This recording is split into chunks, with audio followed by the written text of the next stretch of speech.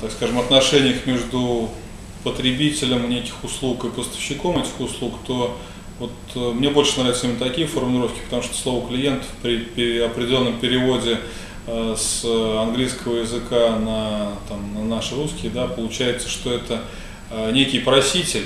Вот. Отношения такие были какое-то время назад, сейчас уже таких отношений практически, ну, они становятся неактуальны, в основном выстраивается между поставщиком и потребителем тех или иных услуг или товаров, выстраиваются отношения.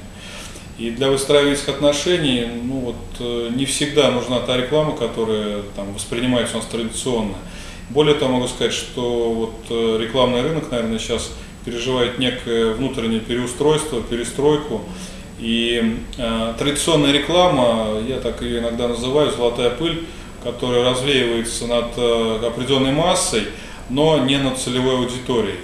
А, а в общем-то, каждой целевой аудитории, каждой группе людей, э, так скажем, которые сформировались по тем или иным принципам, причинам, э, эти э, целевые аудитории, они группы, я бы сказал, ну, целевая аудитория с точки зрения маркетинга, группы с точки зрения интересов, либо каких-то других причин, имеют определенные потребности. И задача компании удовлетворять эти потребности – Соответственно, традиционная реклама в том виде, в каком мы ее знаем, это, еще раз повторюсь, э, золотая пыль, которая развеивается над всей аудиторией, и э, кому-то это нужно, кому-то это не нужно, до кого-то эта информация дойдет, до кого-то она вообще э, оставит э, равнодушным совершенно к этой информации, и результат не будет.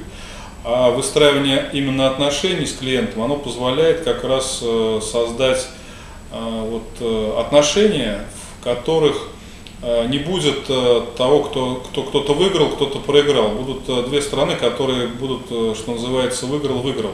Принцип вин-вин, если, так скажем, в маркетинговом варианте да, рассматривать.